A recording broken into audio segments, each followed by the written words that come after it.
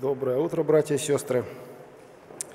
Как Олег Петрович сказал, мы продолжаем изучать Евангелие от Матфея. Сегодня у нас на очереди отрывок, 26 глава, с 69 по 75 стих. Это так называемое отречение Петра.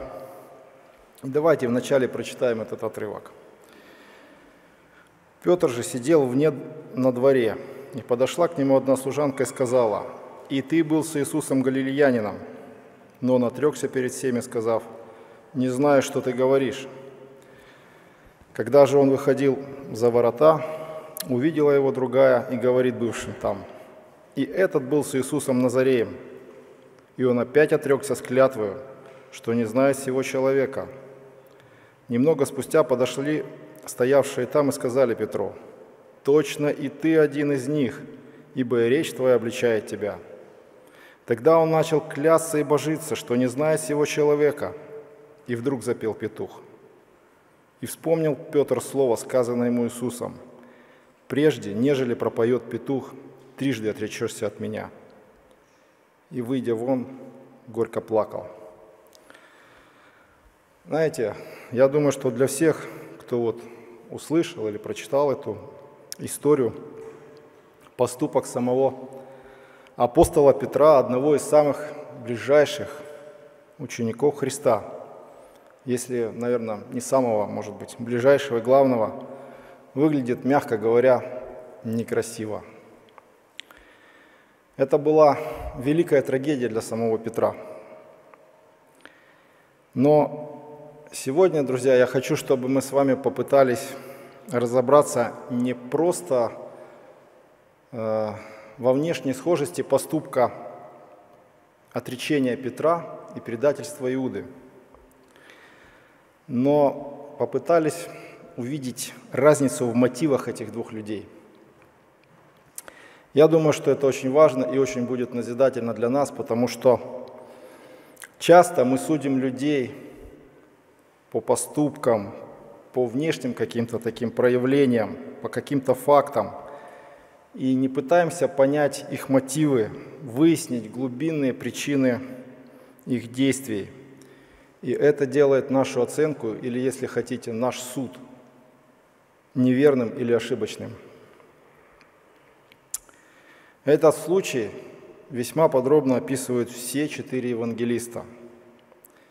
Ну вот зачем Святой Дух побудил их всех запечатлять на века этот крайне неприглядный поступок такого авторитетного апостола, как Петр.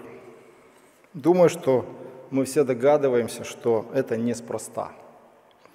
Значит, эта история должна нас лично научить чему-то очень важному. И вот сегодня об этом я хочу с вами поговорить. Первый вопрос, который я хочу задать к этому тексту. Как и для чего Петр – оказался во дворе самого первосвященника. Чуть раньше, в 57 стихе написано, «А взявшие Иисуса отвели его к Каиафе первосвященника, куда собрались книжники и старейшины. Петр же следовал за ним издали, до двора первосвященникова, и, войдя внутрь, сел со служителями, чтобы видеть конец». Из двух других Евангелий мы узнаем, что когда Иисуса схватили, у Марка 14 глава 51 стих – один юноша, завернувшись по ногому телу э, в покрывало, следовал за ним, и воины схватили его, но он, оставив покрывало, ногой убежал от них. А у Иоанна 18 главе 15 стиху, стихе написано «За Иисусом следовал Симон Петр и другой ученик. Ученик же сей был знаком первосвященнику и вошел с Иисусом во двор первосвященнический, а Петр стоял вне за дверями». Потом другой ученик, который был знаком первосвященнику, вышел и сказал предвернице и ввел Петра. Все исследователи считают, что этим юношей был Иоанн. Хотя написано, что после ареста Иисуса Христа все ученики разбежались, Иоанн почему-то, хотя и не без приключений, все же последовал за этой толпой в дом первосвященника – Писание нам не объясняет причину, почему он туда пошел, но только благодаря такому удачному случайному стечению обстоятельств Петр и смог оказаться во дворе первосвященника. И это ответ на вопрос, как он оказался там. Но зачем он туда стремился так? Вот эта фраза, друзья, в конце 58 стиха, чтобы видеть конец, отвечает на этот вопрос. И, как я считаю, является очень важной в понимании всей этой истории. Как вы думаете, почему Петр хотел увидеть конец того, что будет с Иисусом Христом? Я думаю, что ответ достаточно простой и очевидный, потому что Петр искренне любил Иисуса, и он хотел быть с ним максимально рядом до самого конца и увидеть все, что будет происходить собственными глазами. Знаете, когда Петр трижды отрекся от Христа, кажется, что это проявление трусости и даже предательства. Но давайте вдумчиво и внимательно посмотрим на факты. Не то чтобы я хочу как-то убелить Петра, но давайте попытаемся понять сердце Петра и его мотивы, исходя из имеющейся, из имеющейся у нас информации, которая оставлена в Богодухновенном Писании. Что такое трусость?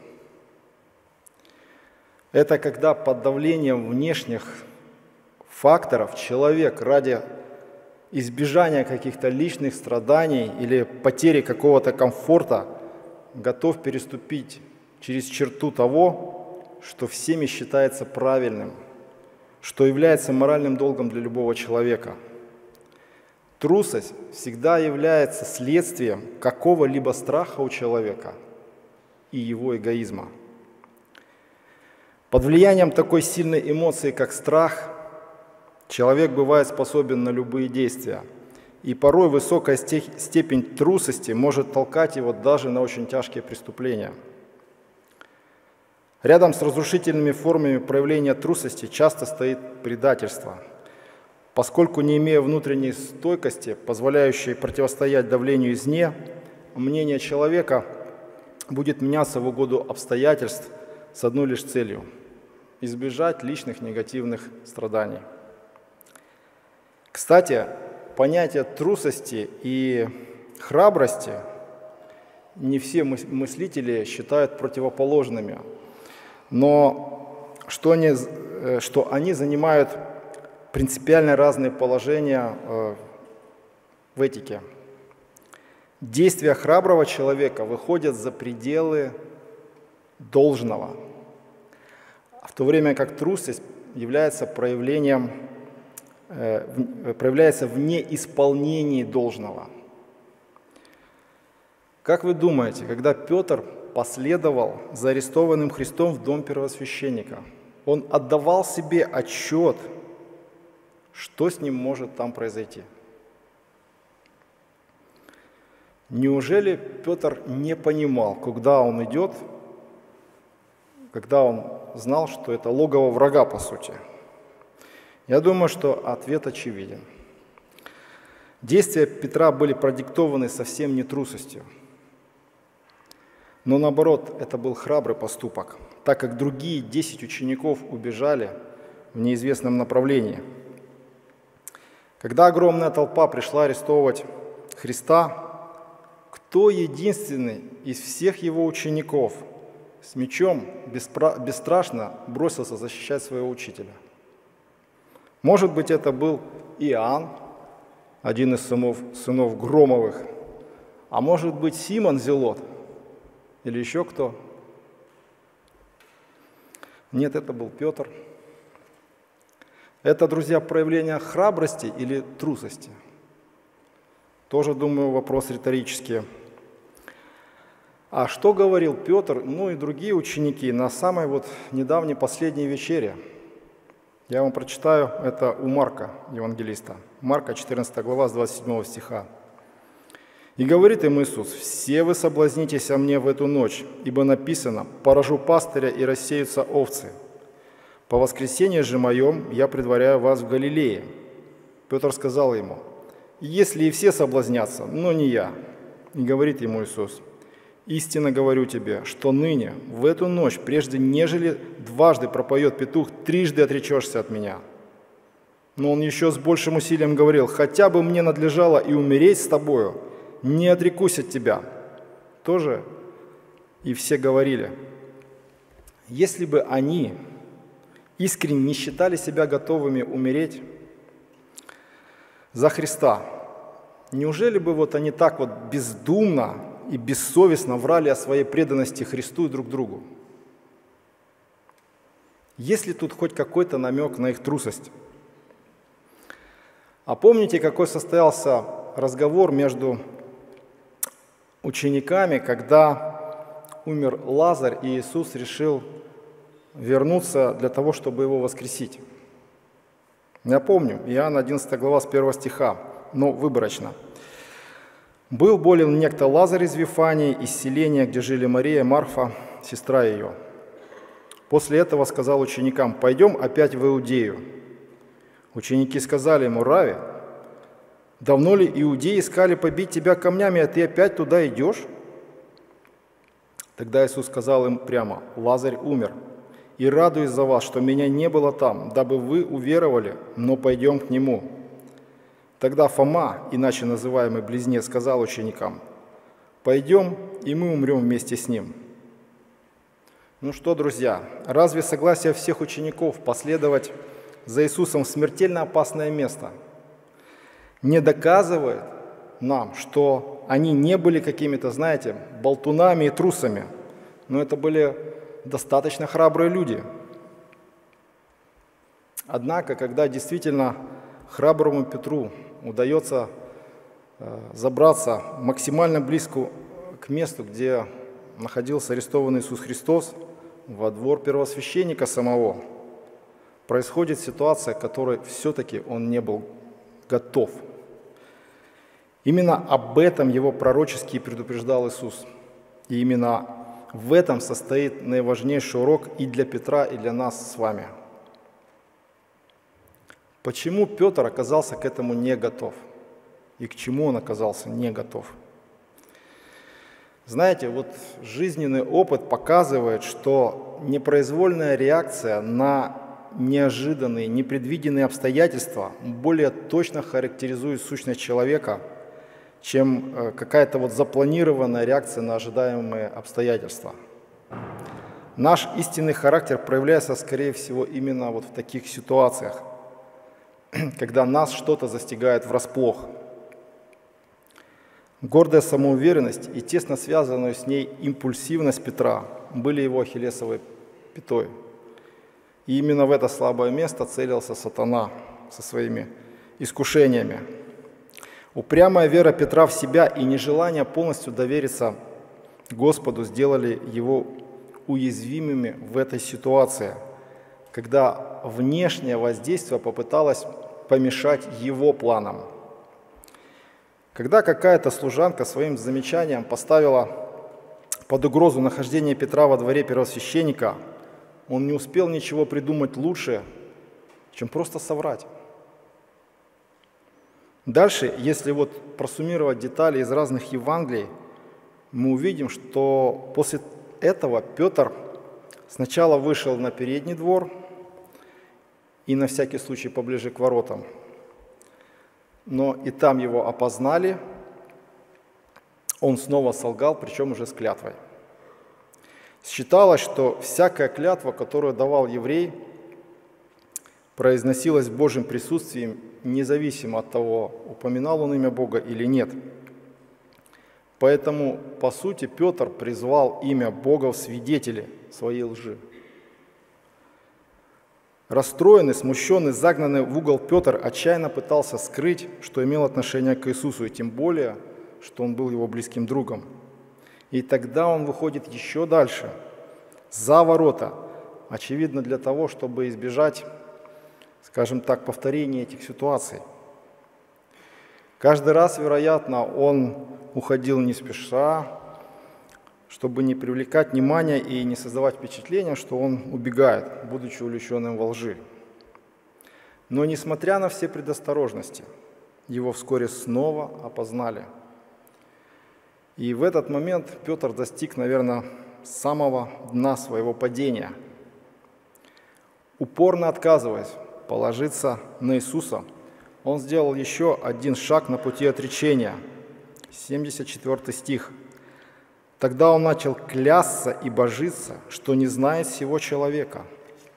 Слово «клясться» в оригинале – это очень резкое слово, которое означает, что человек, который клянется, призывает смерть на свою голову от руки Бога, если он лжет. Это, возможно, самое чудовищное употребление имени Бога в суе, которое можно только себе представить. Петр, по сути, как бы сказал, пусть Бог проклянет и умертвит меня, если я говорю неправду.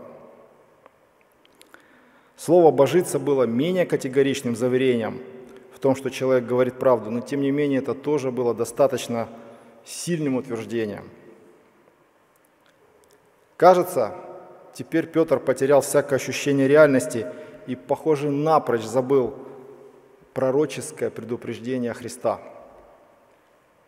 С каждым очередным опознанием Петра в том, что он друг арестованного Иисуса, по мере того, как эти высказывания становились все более конкретными и носили характер обвинения, Петр все больше впадал в крайность, и его отречение становилось все более категоричным – если мы снова просуммируем детали из разных Евангелий, то когда Петр еще говорил эти последние клятвенные отречения, вдруг запел петух. И в этот же момент написано, Господь, обернувшись, глянул на Петра. Очевидно, через окно, которое выходило во двор. И вот в этот момент их глаза встретились. Этот взгляд пронзил Петра до глубины души – обличив грех его сердце и совести. И 75 стих. «И вспомнил Петр слово, сказанное ему Иисусом, «Прежде нежели пропоет петух, трижды отречешься от меня». Эти пророческие слова Христа и его взгляд заставили Петра испытать невыносимые муки стыда и угрызения совести. И дальше написано, «И, выйдя вон, плакал горько, о чем же горько плакал Петр? На первый взгляд, кажется, тут все понятно. Он раскаялся в своем трусливом отречении от Христа, по сути, в предательстве Христа. Знаете, многие годы я вот как-то тоже так думал, что ну так просто тут все понятно. Но теперь вот, наверное, пользуясь случаем, что мне достался вот сегодня на разбор этот отрывок, я хочу поделиться с вами ну, своим каким-то таким новым взглядом на это и иным таким заключением. Какое-то время назад история вот троекратного отречения Петра, и я уверен, что глубоко связанная именно с этим а, троекратное потом а, подтверждение любви Христа Петром – когда э, после рыбалки они встретились. Вот эти события, они как-то заставили меня все-таки как-то вот больше углубиться вот в этот поступок Петра, в его вообще действия. Как я уже сказал, э, и, надеюсь, вам показал, объяснил, что поступок Петра был продиктован не трусостью – и не безрассудством. Вот. Но это был храбрый поступок – пойти в дом первосвященника.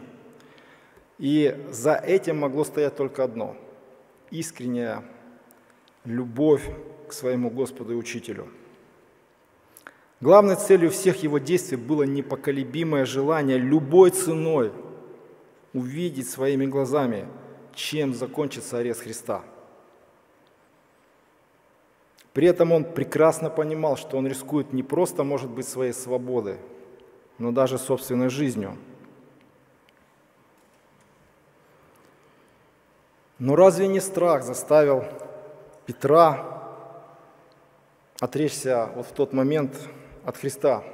Возможно, все-таки вы скажете. И знаете, кажется, что это так. Вот на первый взгляд кажется, что это так. И я так тоже раньше думал – Но тогда это вступает в противоречие с теми фактами, о которых я вам говорил. Разрешимо ли это противоречие? Теперь для меня да. И я вам объясню почему. У Петра был четкий и отчаянный план. Написано, какой план? Чтобы видеть конец. Но ради достижения своего такого, может быть, благородного плана он использовал ложь. Это как раз тот случай, когда говорят о лжи спасении. Это как раз тот случай, когда говорят, что цель оправдывает любые средства. Но знаете, друзья, все вот это вот утверждение, это сатанинское заблуждение. Петр в тот момент не, почитал, не посчитал свою ложь чем-то таким, знаете, страшным, ибо у него действительно была очень высокая и смелая цель. Но все это было замешано на его самоуверенности, самонадеянности. И он настолько вот полагался на себя, что он просто выкинул из головы то предупреждение пророческое, которое ему сказал Христос. Но когда все произошло в точности, как сказал Христос, вот тогда Петр прозрел. Он наконец ясно понял, каким был самоуверенным, каким маловерным, каким внутренне духовно слабым человеком, что для достижения своей благой цели он использовал мерзейшую ложь. Именно осознав все это, за какие-то мгновения он поспешно вышел и горько, горько зарыдал. Можно сказать, что это еще Божья милость к Петру – что его никто не стал преследовать, и он смог где-то укрыться и остаться один на один со своими переживаниями. Помните, когда Иисус уже воскрес, и Петр с другими учениками пошел ловить рыбу, и они ничего не поймали в эту ночь, но когда сам Иисус сказал им закинуть сети, и они после этого не смогли их вытянуть, самый сообразительный из всех учеников Иоанн сказал не самому сообразительному Петру, что это Господь. И Петр не стал помогать вытягивать сети, грести до берега со всем этим добром. Он это бросил все. И тут же бросился за борт и поплыл к Иисусу. Почему он так поступил? Он что, забыл про свое отречение? Думаю, что такое не забудешь. Что могло быть сильнее позора и стыда для Петра перед Христом?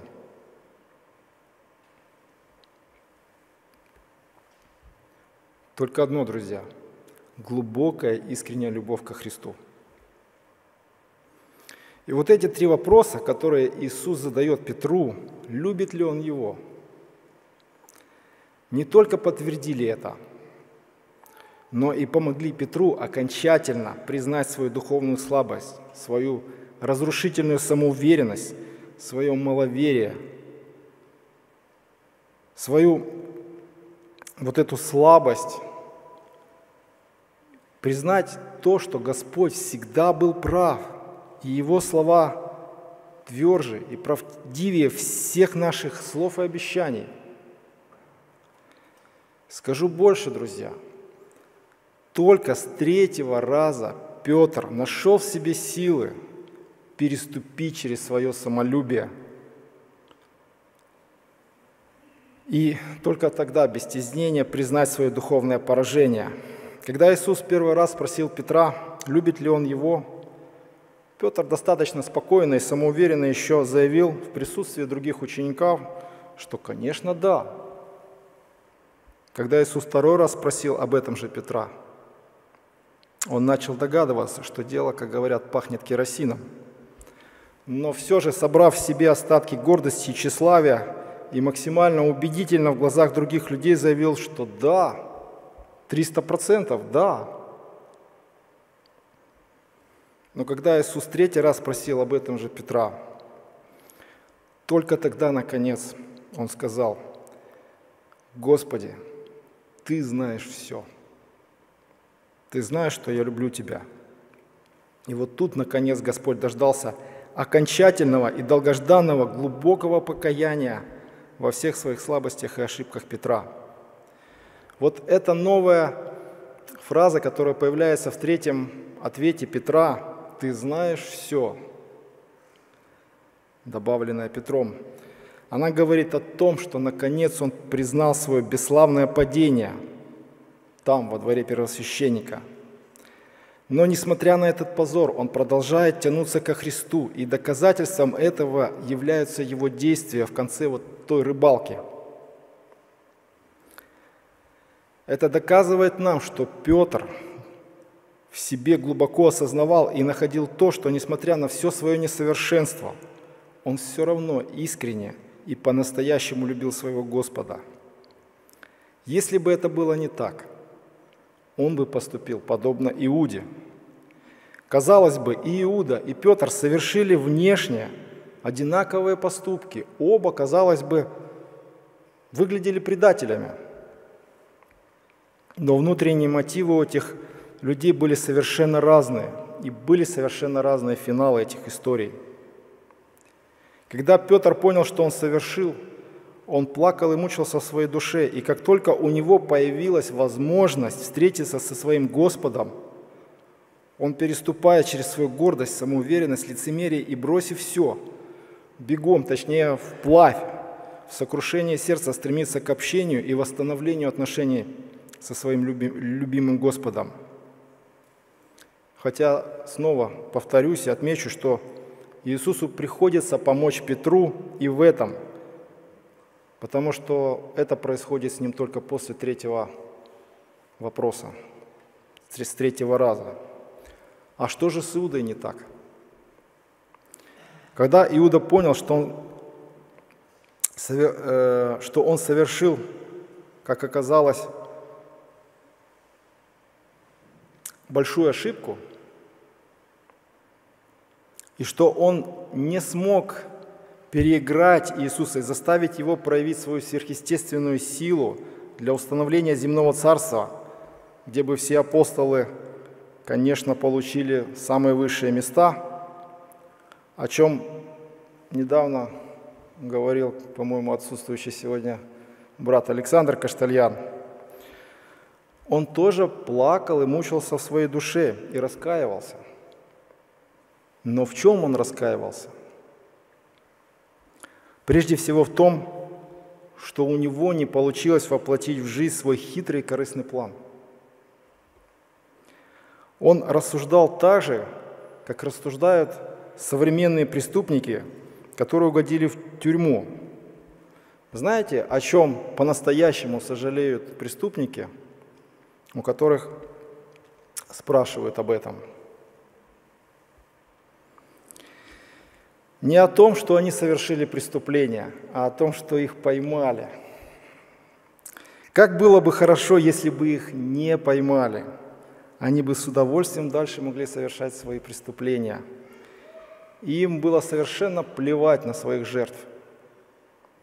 Иуда был очень гордым, жадным, хитрым, жестоким, бессердечным эгоистом, хотя он это мастерски скрывал от других людей – в отличие от Петра, Иуда никогда не любил Иисуса всем сердцем своим, всей душой своей, всем разумением своим и всей крепостью своей. Больше всего Иуда любил себя. Знаете, на какого человека в Библии похож Иуда? Был такой человек по имени Ахитофел. Второй царь, 16 глава, 23 стих. Советы же Ахитофела, которые он давал в то время, считались, как если бы кто спрашивал наставления у Бога. Таков был всякий совет Ахитофела, как для Давида, так и для Авесолома. Но что сделал Ахитофел, когда его план, его совет не сработал? 2 Царств, 17 глава, 23 стих. «И увидел Ахитофел, что не исполнил совет его, и оседлал осла, и собрался, и пошел в дом свой, в город свой, и сделал завещание дому своему, и удавился, и умер, и был погребен в гробе отца своего. Почему он так сделал? Почему он наложил на себя руки? Потому что был настолько гордым человеком, что не смог признать перед другими свои ошибки. И в этом Иуда был точно таким же. Вместо того, чтобы всеми силами искать прощение и милости у Сына Божьего, он, чтобы избавить себя от этого унижения и страданий от собственных несбывшихся надежд, чтобы долго не мучаться, просто пошел и через самоубийство быстро решил эту проблему. Если бы Иуда хоть сколько-то любил Иисуса Христа, как Господа, он бы не пошел на такой шаг. И надо отметить, что Господь на протяжении всего времени, вот, когда Он был со своими учениками, Он столько раз давал Иуде возможность выбрать в пользу того, чтобы полюбить больше Бога, нежели Мамону. Но Иуда не захотел. Иуда оказался неисправимым эгоистом. Истинная сущность Петра проявилась не в его отречении, а в его храбрости и покаянии, основанным на искренней любви. Истинная сущность Иуды проявилась даже не в его предательстве, а в его гордости и жадности, основанной на глубочайшем эгоизме. При внешней схожести двух поступков разных людей у них могут быть совершенно разные мотивы и, как следствие, разные финалы. Поэтому, друзья, мы и не должны торопиться с выводами о поступках и делах людей и сохранять предвзятость, несмотря на новые факты или информацию, но должны стараться быть беспристрастными, нелицемерными и максимально объективными в оценке действий других людей. И что еще очень важно, быть более милосердными, нежели строгими и справедливыми, ибо у Бога милость превозносится над судом. Итак, какие же выводы мы можем сделать для себя из всего вышесказанного? Первый такой вывод. Эта история подтверждает божественность Христа, Его абсолютное знание будущего. Что бы мы ни думали и не говорили, что бы ни думал и не говорил Петр, все слова, сказанные Иисусом Христом и записанные во всей Библии, во всех случаях, сто процентов исполнятся, какими бы невероятными и трудными они нам не казались. Это урок того, что мы должны на 100% доверять нашему Богу и на 100% не доверять себе, потому что Он Бог, а мы просто люди. Второй вывод. Этот отрывок еще раз подтверждает нам и показывает удивительную терпеливость, любовь и милосердие Христа ко всем своим ученикам – у которых далеко не сразу все хорошо получалось на пути следования за Ним. Даже такие великие мужи, веры, как мы их называем, Иов, Авраам, Моисей, Давид, многие другие, даже тот же Петр, на пути своего духовного развития и обретения духовной зрелости падали и совершали различные акты маловерия и потакания своей греховной плоти. Но написано – притчах. «Ибо семь раз упадет праведник и встанет, а нечестивые впадут в погибель». А вот что на этот счет написал апостол Иоанн, 1 Иоанна 3,20. «Ибо если сердце наше осуждает нас, то кольми паче Бог, потому что Бог больше сердца нашего и знает все». А уже духовно зрелый апостол Павел об этом написал так. Филиппийцам 3 глава с 12 стиха. Говорю так не потому, чтобы я уже достиг или усовершился, но стремлюсь, не достигну ли я, как достиг меня Христос Иисус. Братья, я не почитаю себя достигшим, а только забывая заднее и простираясь вперед, стремлюсь к цели, к почести высшего звания Божия во Христе Иисусе. Я думаю, что если бы Иисус не молился о Петре до того, как произошла эта история, очень вероятно – что Петр тогда бы сломался и оставил бы свое апостольство. Гордость бы не позволила, как у Иуды. В Луке 22 главе 31 стихе написано, «И сказал Господь, Симон, Симон, все сатана просил, чтобы сеять вас, как пшеницу, но я молился о тебе, чтобы не оскудела вера твоя, и ты, некогда обратившись, утверди братьев твоих». Вот эти слова Христа открывают реальность духовной войны. Иисус знал, что сатана будет искушать его учеников, и его целью будет разрушить их веру и погубить их души. Кстати, друзья, это также говорит нам о том, как важно нам молиться о себе, чтобы нам именно с Божьей помощью преодолевать все искушения и все испытания, которые сваливаются на нашу голову. Помните, незадолго до отречения Петра, когда Иисус молился в Гефсиманском саду, его ученики каждый раз засыпали. И там он сказал им про один очень важный принцип успешной, победоносной духовной жизни – он им так сказал, «Бодрствуйте и молитесь, чтобы не впасть в искушение. Дух бодр, плоть же немощна». Бог от всего сердца, если можно так сказать, желает нам быть победителями над нашими собственными немощами, слабостями, похотями, маловерием, малодушием и прочими грехами – Ибо только побеждающему дам вкушать от древа жизни, которое посреди рая, пообещал Господь в откровении всем верующим. Побеждающему дам вкушать сокровенную ману, и дам ему белый камень, и на камне написано новое имя, которое никто не знает, кроме того, кто получает. Побеждающему дам сесть со мною на престоле моем, как и я победил и сел с отцом моим на престоле его». Бог исключительно заинтересован в нашей победоносной христианской жизни.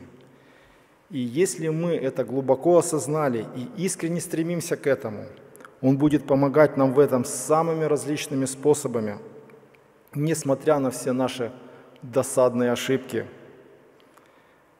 Потому что Бог любит нас, и Он любит нас как детей и заботится о нашем наивысшем благе – Третий вывод – это болезненный урок Петру, это урок и для нас с вами, для нашей с вами, присущей каждому из нас самоуверенности и самонадеянности по этой жизни. Я уверен, братья и сестры, что абсолютно всех верующих с этим есть проблемы. И вот этот урок, который был тогда уроком для Петра, он сегодня полезен и нужен для нас, чтобы напоминать нам об этой опасности в нашей духовной битве. Наша самоуверенность, наша самонадеянность могут привести нас только к духовному поражению. И как следствие к слезам и последующей нужде к покаянию. И только наше доверие, полное доверие Богу – всех наших жизненных обстоятельств, наших внутренних переживаний, наших материальных и духовных нужд может привести к их решению и разрешению. У Иеремии 17.5 сказано известные слова. Так говорит Господь, проклят человек, который надеется на человека, и плоть делает своей опорой и которого сердце удаляется от Господа. И последний, четвертый урок этого отрывка состоит в том, что достижение любой, даже очень хорошей, доброй, правильной цели не оправдывается никакими греховными средствами, в частности ложью.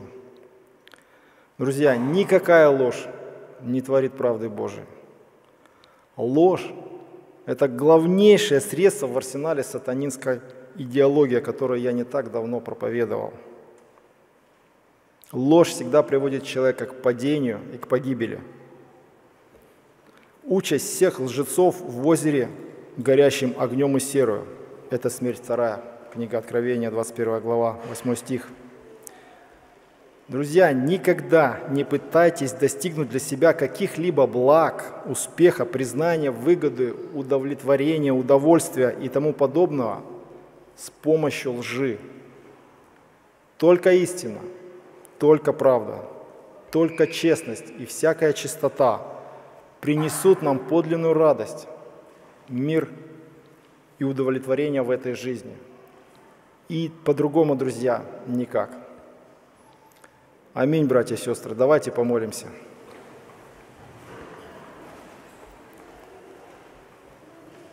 Господи, благодарим Тебя, что вот Слово Твое, оно полно правды, и в нем столько назидательных примеров, столько вот фактов из жизни многих людей, и хороших людей, и нехороших, для того, чтобы нам, Господи, учиться и на их и ошибках, и на их, Господи, успехах.